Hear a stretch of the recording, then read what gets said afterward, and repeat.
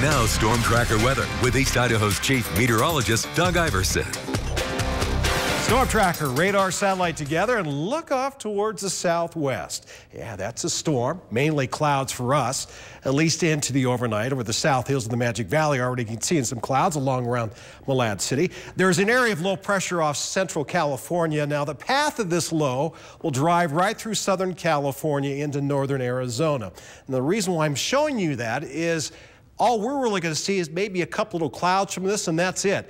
There could be, though, some snow showers that develop around Malad City, Preston, and Montpelier, but that's as far north as it's going to get. So we're going to stay pretty much dry because the storm path for this storm is just way too far south for us to get in on it.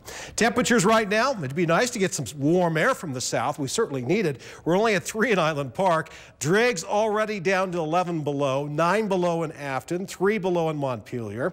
We're staying above zero tonight in Malad City. You can thank those clouds for that. 15 right now in Pocatello.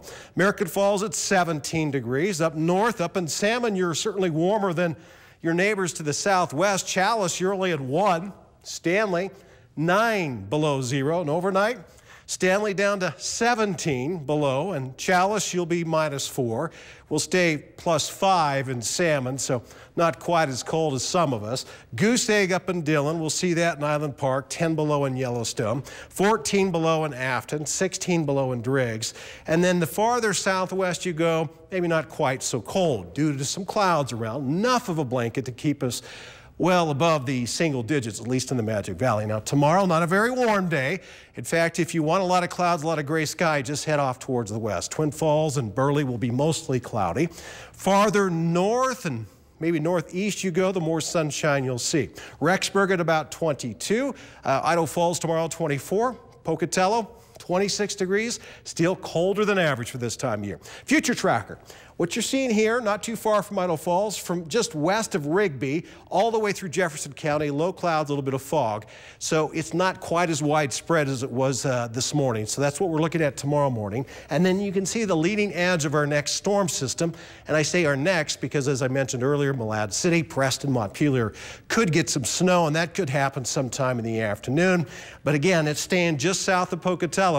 So if you want fresh snow, just go south. Yeah, usually You'd want to go north for the cold and snow, but that won't be the case tomorrow. Seven day forecast as we look ahead. Thursday, a sunnier day, no doubt a colder start to the morning, too. Friday, finally in the 30s. This weekend, mostly sunny. Our next chance of snow for Pocatello won't be until next Tuesday, so we're a week away. Look at all that sunshine out of Falls.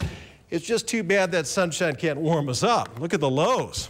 Minus two tomorrow night, still in the single digits uh, Thursday and Friday night, Rexburg seven day. We got lots of sunshine, and that sunshine will take us into the part of the weekend. We got a mix of sun and clouds Sunday and Monday, and could see some snow showers on Tuesday.